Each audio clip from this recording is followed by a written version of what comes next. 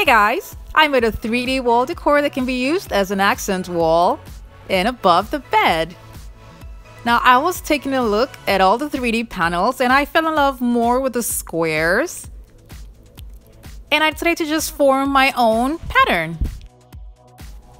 I made something a little bit similar to this last year, August 16, 2017. It's a different shape, but it's the same thing, and the link will be in the description box below.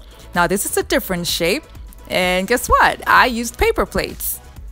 I used four paper plates because of the size of where I'd like to place the 3D, and this is the back, and this is the shape that I was going for. So I took trifold boards and arranged them according to the height and the width of where I'd like to place it.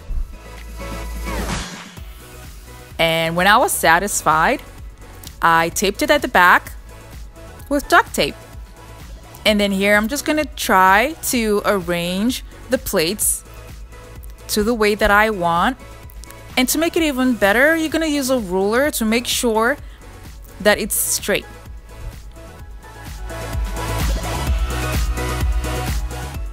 If you're new to my channel, it's so great to have you here. Now don't forget to click on the subscribe button so you don't miss out on any of my latest videos. Now I'm just going to be gluing down the paper plates onto the trifold board. And that's it. It's as easy as that.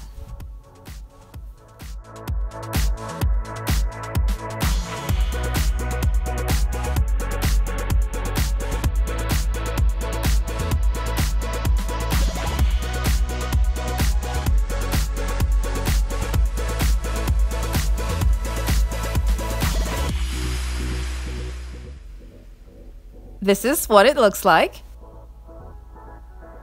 And then I wanted creating another pattern somewhere at the top, so I added more plates at the top to give it an illusion of a hidden pattern. And there it is. I use command strips to hang it on the wall. Now, if you're gonna do a large piece, you're gonna have to ask for help. But to make it easier, you can make them into smaller parts and then add them up together when you're hanging it on the wall. The lights you see up there come two in a pack, but then I use two packs, which is four, but then I use three, and guess what? The remote actually works for all three. And the round things you see besides it, it's like a command strip, which is easy for hanging. And I use a black and white theme for the room. You can also use it at a corner that has bare walls that you want to convert into an accent wall. I had fun making this and with just $4 I was able to cover up a bare wall. I was so eager to see what it was going to look like if I use another color so I made another set and I spray painted it silver. Let me know in the comment section below which you prefer, silver or white.